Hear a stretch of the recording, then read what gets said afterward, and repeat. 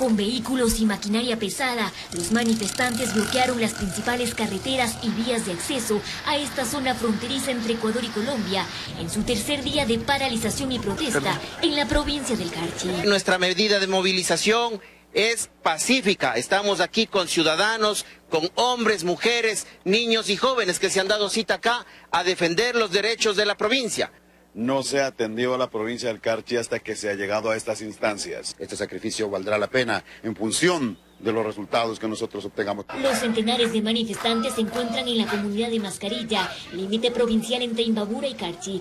Respaldan a los burgomaestres de los cantones Mira y Espejo, quienes aseguran que no levantarán la paralización mientras no lleguen ministros o incluso el presidente Lenin Moreno o el vicepresidente Otto Hosner. Invitándole para establecer esos buenos acuerdos a través de un diálogo, de un consenso. Cuando nosotros observamos un incendio en una colina, no le decimos al fuego, venga para apagarlo, voy yo a apagarlo, a extinguirlo allá. Los agricultores del Valle del Chota tienen que hacer trasbordo y cargar bultos para llevar sus productos hasta los mercados de Ibarra.